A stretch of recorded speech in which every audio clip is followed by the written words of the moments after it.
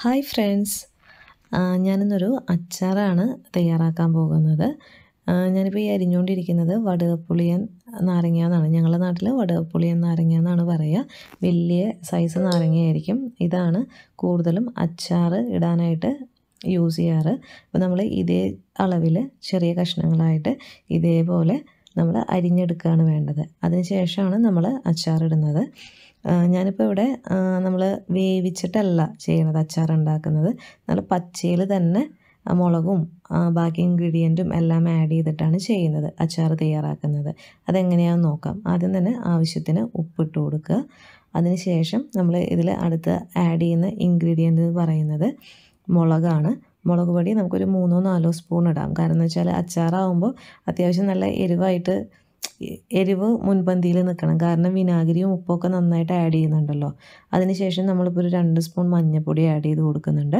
എന്നിട്ട് ഇതിലേക്ക് കുറച്ച് കറിവേപ്പിലയും കൂടി നമ്മൾ ആഡ് ചെയ്ത് കൊടുത്തിട്ട് ഇത് നന്നായി തിരുമ്മിയെടുക്കണം. അങ്ങനെയാണ് ചെയ്യുന്നത്. പിന്നെ ഇതിൽ സ്പെഷ്യൽ ഇൻഗ്രീഡിയന്റ് ഇപ്പോൾ ആഡ് ചെയ്തിരിക്കണമെന്ന് പറയുന്നത് പഞ്ചസാരയാണ്. കാരണം ഇത് അത്യാവശ്യം നല്ല പുളിയും കയ്പും ഉള്ള നാരങ്ങയാണ്.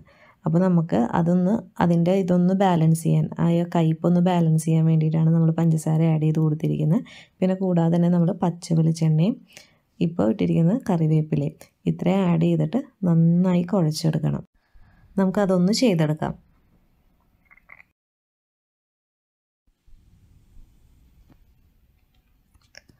നമ്മളിപ്പോൾ ഇതിൽ ആഡ് ചെയ്തിരിക്കുന്ന പൊടികളായ മഞ്ഞൾപ്പൊടി മുളക് പൊടി അതുപോലെ തന്നെ വെളിച്ചെണ്ണ ഇതെല്ലാം ഉപ്പ് ഇതെല്ലാം നന്നായി പിടിക്കുന്ന രീതിയിൽ നമ്മൾ നന്നായിട്ടത് കുഴച്ച് തിരുമ്മിയെടുക്കണം. കൂടാതെ തന്നെ നമ്മളിതിൽ ആഡ് ചെയ്ത് കൊടുക്കുന്നത് വിനാഗിരിയാണ്. വിനാഗിരിന്റെ മെയിൻ ഇൻഗ്രീഡിയന്റ് ആണ്.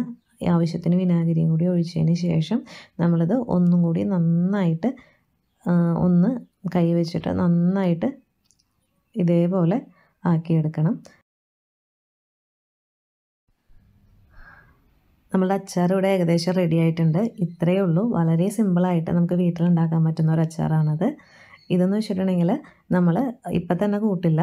നമ്മളതൊരു വൺ വീക്കോ ടു വീക്കോ നമ്മൾ ഒരു ചില്ലിന്റെ കുപ്പിയിൽ അടച്ചു വെച്ചതിന് ശേഷം ഒരു ടു വീക്സൊക്കെ കഴിഞ്ഞിട്ട് എടുക്കുമ്പോഴാണ് അതിന്റെ ആ ഒരു ടേസ്റ്റ് നമുക്ക് കിട്ടുക. അപ്പോൾ ഇതൊന്ന് എല്ലാവരും ഒന്ന് ട്രൈ ചെയ്ത് നോക്കുക. നമ്മളെപ്പോഴും എന്താ പറയുക ചൂടാക്കിയിട്ടാണ്. അതായത് ജസ്റ്റ് ഒന്ന് കടുകൊക്കെ പൊട്ടിച്ച് ചൂടാക്കി അങ്ങനത്തെ ടൈപ്പ് അച്ചാറുണ്ട്. അതിൽ നിന്ന് വ്യത്യസ്തമായിട്ടുള്ളൊരു അച്ചാറാണിത്. എല്ലാവരും ഒന്ന് ട്രൈ ചെയ്ത് നോക്കിയിട്ട് അഭിപ്രായം അറിയിക്കണം. കൂടാതെ തന്നെ നമ്മുടെ ചാനൽ ഫോളോ ചെയ്യാനും സബ്സ്ക്രൈബ് ചെയ്യാനും മറന്നു പോകരുത്. അപ്പോൾ എല്ലാവരും ഒന്ന് ട്രൈ ചെയ്തിട്ട് അഭിപ്രായം അറിയിക്കുക.